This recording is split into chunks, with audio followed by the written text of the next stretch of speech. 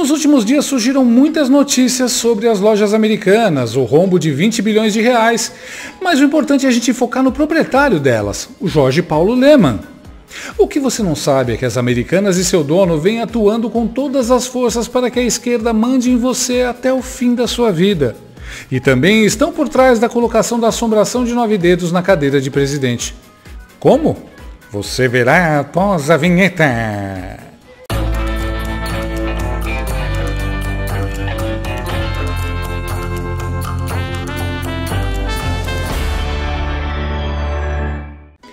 Brasil é um país tosco, dominado culturalmente por gente tosca, e por isso faz sentido começar a examinar a origem de nossa miséria pela tosquíssima Juliette, a ex-BBB, que ninguém sabe para que serve.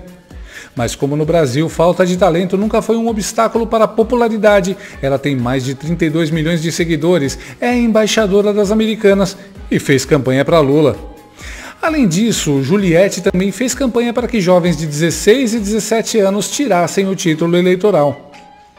Outra que também fez campanha para o Lula e para os jovens tirarem o título foi Anitta. A fanqueira estrelou propagandas para o Burger King, que também é do Paulo Leman, o dono das Americanas. Coincidência, né? Na mesma época, Anitta fez ativismo em defesa da Amazônia e contra o desmatamento de florestas. Com um detalhe, a Burger King foi acusada de desmatar a Amazônia. Ironia, né? De acordo com o site do TSE, a campanha para os jovens levou cerca de 2,1 milhões de pessoas entre 16 e 17 anos a tirarem o primeiro título eleitoral.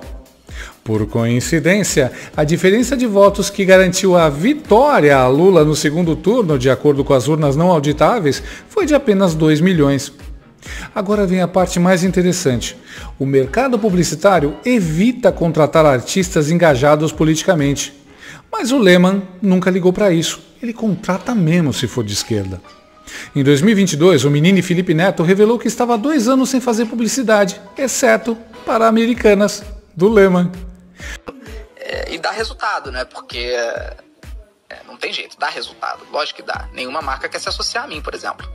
Tirando Americanas que faz o show da Black Friday, eu estou há dois anos sem fechar uma publicidade com uma empresa que tem escritório no Brasil. Eu só fecho o jogo. É só game aqui no canal. Eu não faço uma publi. Vocês podem perceber. Então, por quê? Porque galera, as marcas não querem ter esse feedback desses bolsonaristas. É bizarro. Aliás, qualquer Zé Ruela que teve seus cinco minutinhos de fama falando mal do Bolsonaro nas redes sociais já era contratado para fazer publicidade para americanas, como o humorista mais sem graça do mundo que viralizou um vídeo sobre as vacinas da Pfizer. Logo depois, o Menini começou a participar de programas do GNT, da Globo. E por falar em GNT, o Saia Justa começou a discutir sobre pobreza menstrual. O programa entrevistou pesquisadores de uma ONG chamada Eleva, que mostrava a importância da distribuição gratuita de absorventes. A entidade é financiada por Lehman. Na mesma época, Batata Amaral, deputada de esquerda bancada pelo Lehman, também encampou essa briga. Deve ser só coincidência. Desde então, Astrid Fontinelli começou a pressionar via redes sociais para que o projeto de lei fosse aprovado. A pressão de Astrid trouxe bons resultados financeiros.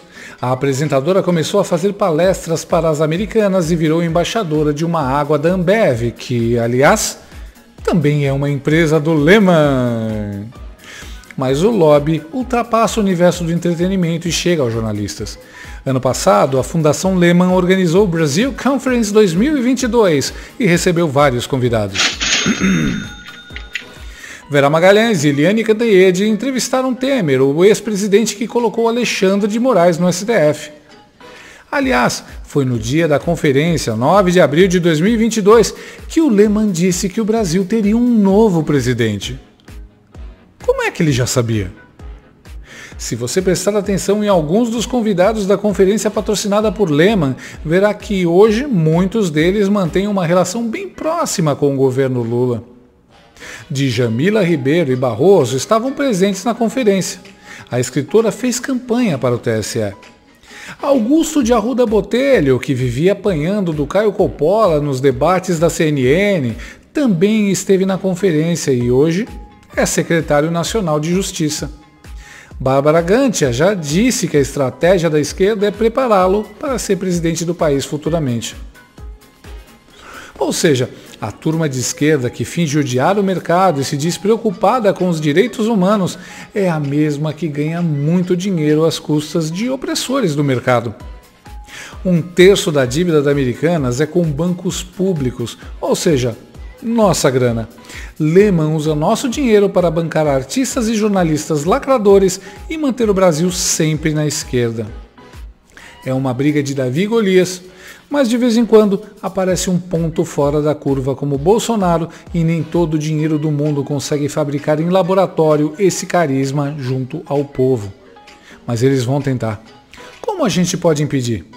Espalhando a mensagem pelas redes sociais, como fez o autor de todas essas descobertas, Henrique Soldano, no Twitter dele. Eu recomendo que você o siga.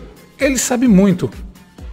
Outra maneira, e eu nem precisava lembrar disso, é boicotar essas marcas. Americanas, Ambev, Burger King, essas empresas te odeiam. Não dê dinheiro a quem te odeia. A Unicef chama isso de pobreza menstrual, uma condição que afeta milhões de mulheres no mundo todo. O Senado aprovou ontem um projeto de lei que prevê a distribuição gratuita de absorventes para estudantes. Gostou desse vídeo? Então inscreva-se no canal, comente, curta e compartilhe com seus amigos. Não gostou? Compartilhe com seus inimigos. Até o próximo vídeo, se o mundo não acabar antes. Por hoje é só.